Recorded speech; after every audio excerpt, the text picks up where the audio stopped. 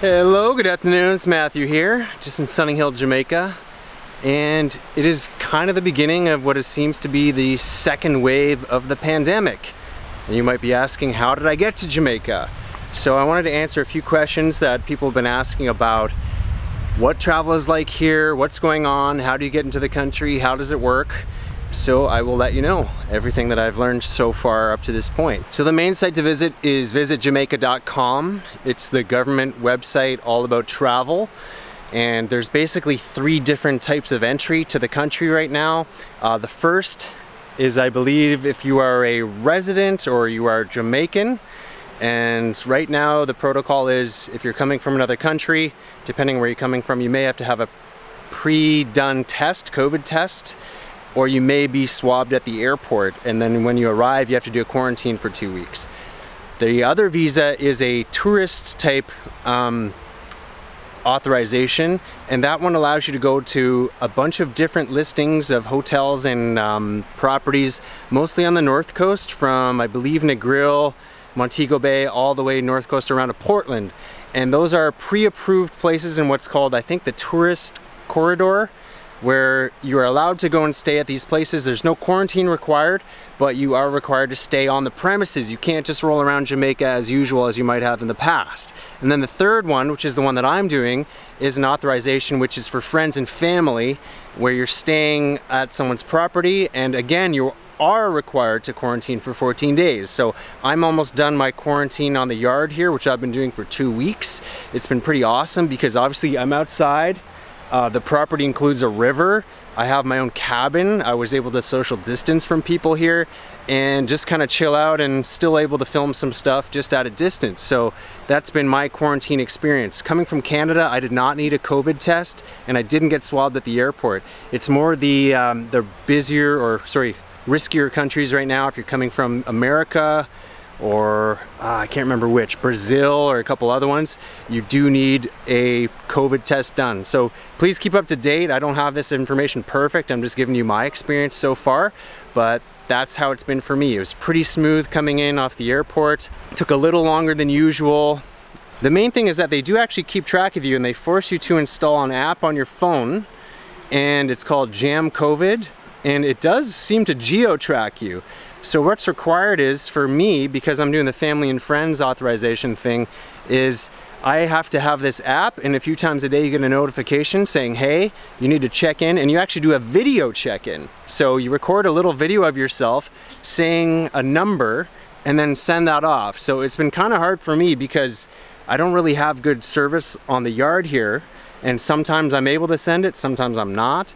It also asks you for a temperature check, which I thought was very weird because when you get your original travel authorization, it doesn't mention anything about, hey, bring a thermometer.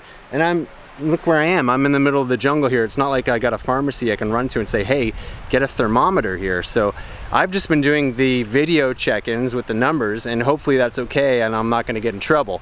Also, sometimes my video things haven't been going through because of the service and I get an error on the app. So I've been taking screenshots of those errors. I don't know how tough they're gonna be or if it's they're kind of just using it to scare people and force them into staying uh, for two weeks. I mean, I have so much to do here, I don't really care. I plan on hanging here for a couple weeks anyhow, so it's not really a big deal for me, but um, yeah, that's kind of how it's been operating. I'll show you on the phone what it looks like. Hey, Kelly. All right, so Kelly's here, just hanging out with Kelly. I'm gonna log into the Jam COVID app. Uh, they want you to always allow it, uh, permissions on it. So it opens up like this and I it shows I have bars here but I tend to have very poor service. As you can see it seems to be taking a while. Get a message from Andrew Holness continue. So I keep getting these updates asking me to check in. Am I experiencing any symptoms? No. Next I'm supposed to enter a temperature reading, but how am I going to do that? And I'm supposed to say 8309. 8309. Bing! So I've got my video here. I'm going to use video. and then you just submit it. So half the time, I have not even been able to submit it. Uh, half the time it does work. So still going, still going, still going. Very slow.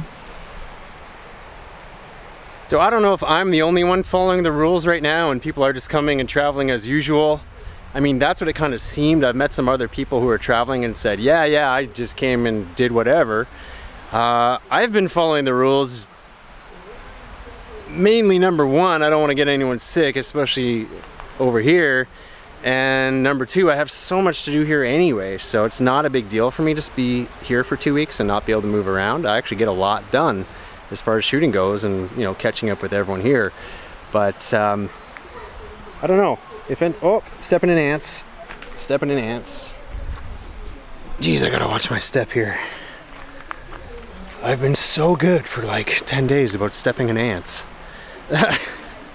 okay, here's it goes. It's successful. There we go. So video check-in was successful. So this one was actually okay. Took a couple minutes and I didn't get a weird error. There's one error that says JSON something something. So kill that. So yeah, I'm not sure if I'm one of the only one following the rules here. I don't know how strict they actually are when you exit. It was kind of hodgepodge when you arrive. It's like they give you the app, they make you install it, but then you also do a sort of paper check too, and they give you a paper form to fill out and do your temperature. And then when you say you don't have a thermometer, they say, oh, just get someone to get a thermometer for you. It was very kind of strange. You'd think when I was at home, filling out the original travel authorization you need to fill out before you fly to Jamaica that it would notify, okay, you need these things, here's how it works, just kind of set you up. But you basically sign a form saying you may have to sign or you may have to put an app on your phone, uh, you may have to wear a tracker, like a wristwatch tracker or something like that. You sign off on all these things just to get into the country. So if you have any more information than I do, uh, let me know. I traveled on September 23rd and the people that I met that had traveled earlier than me said there was none of that really. They just, it was much easier or much lighter. They hadn't quite figured it out yet. Or you might have put an app on your phone, but it didn't have video check-ins or that kind of thing. Or I've met people who bring a second phone and put the app on that. So anyway, I'm not here to advise you on what to do. I'm just telling you about my experience. Um, but so far in Jamaica, it's been very calm, very chill, but I haven't been going anywhere. I get Cooper to go to the shop for me if I need anything. Uh, Monk was cooking all the food and stuff here, so I got no want for that. There are some waves coming, which I would like to go to, but I can wait a little bit to do that too. So I'm gonna finish up my quarantine, uh, keep shooting tons of Ras Kitchen, and hopefully hit the road and do some more interesting stuff. Or not more interesting, but just different kind of stuff off yard here. Do a little travel, whether to Portland or Montego or Negril or who knows where. So the other question people have been asking me is why can't they find the Airbnb? So after maybe a month into the pandemic, there were still so many bookings coming in, but everyone was canceling. So it was creating all this work for Aaron, big up Aaron in Florida, who takes care of the Airbnb stuff. And people were asking all these questions which we had no idea which is you know is Jamaica going to be open for traveling? How is it going to work? So when Jamaica finally did reopen for tourism on June 15th for everyone from any country uh, we finally had a bit more information but still because people were not looking at the facts and seeing oh I have to do a 14 day quarantine before I come everyone was still canceling their trips. So yeah, we took it down for a while. Uh, it's gonna be back up now, and I just put a notification in saying, look, if you're in Jamaica for a long time and you've done your two weeks, you can definitely book and stay on the yard. But other than that, if you're a tourist, you do have to stay in that resilient corridor. So that's the current situation. Also, I did forget one of the other authorization. If you're doing business here, you have an option for that one too. So there's the business traveler option where you still do a quarantine but you're allowed to leave your hotel or place of residence one or two times a day for business. Anyway, I'll put that link below. But anyway, Mokko's Place is open, so if you're in Jamaica and you can want to stay for three nights, you can book the place. If you're coming here for an extended trip, you can still book the place after two weeks. So I hope you can still come support Moko. He's very excited to have guests and he built a new house and he uh, you know, is missing this because he really enjoys having people from all over the world come and stay at his place. So anyhow, I'll give some more videos about my experience as I start traveling around, but I don't really have much updates other than life feels very good and it feels very normal on the yard here. It's just business as usual and uh, excited to finish this quarantine and explore a bit more and give everyone an update. So bless up, thanks for following. Please comment, share below. If you have any commentary or if I have something wrong, please feel free to correct me and check that uh, Travel Jamaica site or I'll link to whatever the site is down below. That's where you're gonna go to get all your updated information. So have a good one.